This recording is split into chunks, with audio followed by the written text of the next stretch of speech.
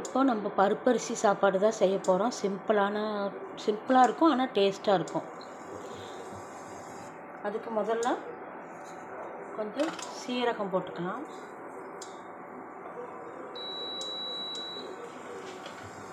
அப்புறம் நான் இங்கே தக்காளி மூணு பெரிய வெங்காயம் அஞ்சு பச்சை மிளகா கருவேப்பிலை அப்புறம் சாம்பார் தூள் ஒன்றரை ஸ்பூனு அரை ஸ்பூன் மஞ்சத்தூள் எல்லாம் நம்ம ஒட்டுக்கா போட்டு வதக்கிக்கலாம். இந்த சீரகம் வடித்தோன்னே இப்போ போட்டுக்கலாம் எல்லாத்தையும்.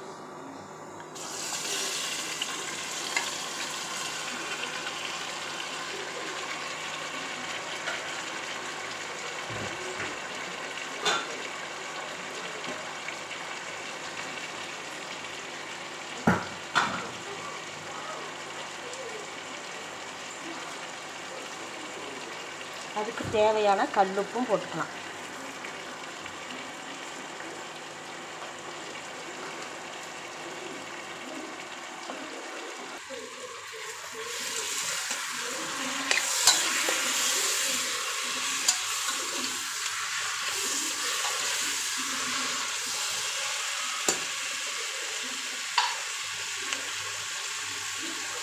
இப்போ வந்து சீரக சம்பா ரெண்டு கிளாஸும் ஒரு கிளாஸ் பாசி பருப்பும் போட்டு தான் நான் ஊற வச்சுருக்கேன்.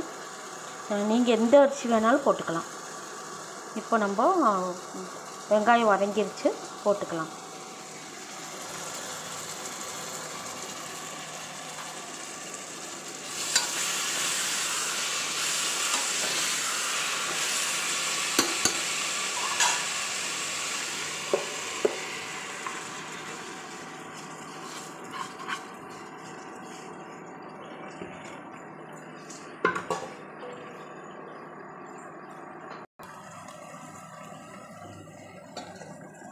மூணு கிளாஸ்க்கு ஆறு கிளாஸ் தண்ணி அளந்து வச்சுருக்கேன்.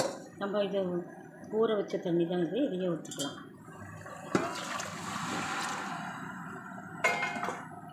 இது நம்ம வந்து விசில் விடக்கூடாது.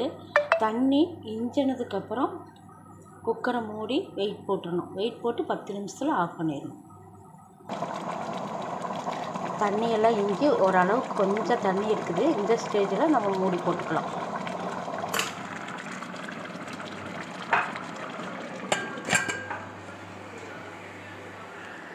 மூடி போட்டு ஒரு பத்து நிமிஷம் சிம்மில் வச்சு ஆஃப் பண்ணிடலாம். இப்போ நம்ம பத்து நிமிஷம் ஆயிடுச்சு திறந்து பார்க்குறோம். இப்போ நம்ம பரிசு பருப்பரிசி சாப்பாடு ரெடி.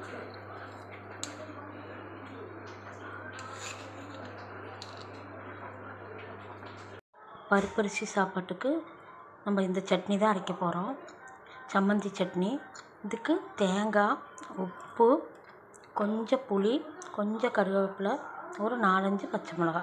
இதை வச்சு அரைச்சிட்டோம்னா அந்த பருப்பரிசி சாப்பாட்டுக்கு நல்ல சைட் டிஷ்ஷு சூப்பராக இருக்கும்.